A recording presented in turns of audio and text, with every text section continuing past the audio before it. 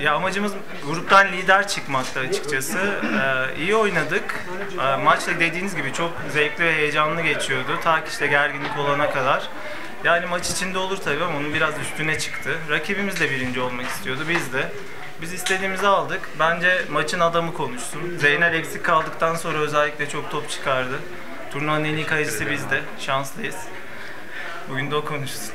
Zeynel Kaptan'dan övgüler yağdı sana adeta. İstiyorsun? Kaptanıma teşekkür ediyorum. 1-0 olsun bizim olsun dedik ama 1-1 oldu. Önemli değil, güzel maçtı. Zevk aldık. Gerçi ben pek bir zevk almadım da genelde yani yine paramparça oluyor.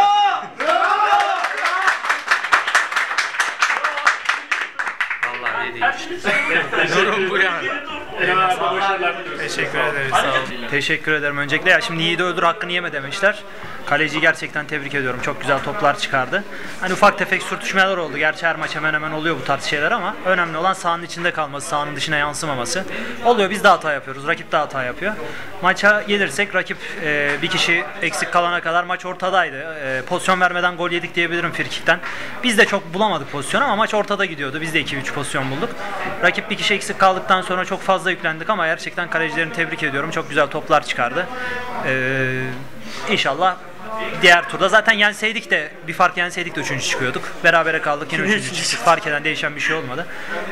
Önümüzdeki maçta inşallah daha güzel şeyler olacak. Vallahi sen de güzel performans sergiledin. Sen neler söylemek istersin? Teşekkürler. Ya biz her hafta deniyoruz deniyoruz da bir ya bizim hatamızdan ortalık geriliyor. Ya kendi içimizde geriliyoruz ya rakiple bir sürtüşme olup bir şekilde müdahale edilemiyor diyeyim hani görmüyor olabilir. İşte o an gerginlikten hakem de geriliyor olabilir. Hani kimseyi suçlamak için değil de ister istemez gerginlik oluyor.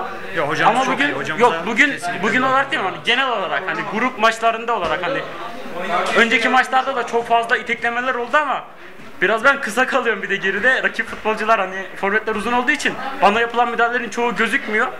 O konuda biraz bir şikayetim var ufak ama bugün yani Tunç iyiydi. Rakip olarak yani iyi bastılar ama kaleci bir tık öne çıktı rakipte. Hani diğerlerine bir şekilde geçtik ama kaleci geçmeyi pek başaramadık bugün. O yüzden rakibi de tebrik ediyorum. O yüzden teşekkürler. Sizi tebrik ediyoruz. Başarılar. Sağ olun, teşekkürler.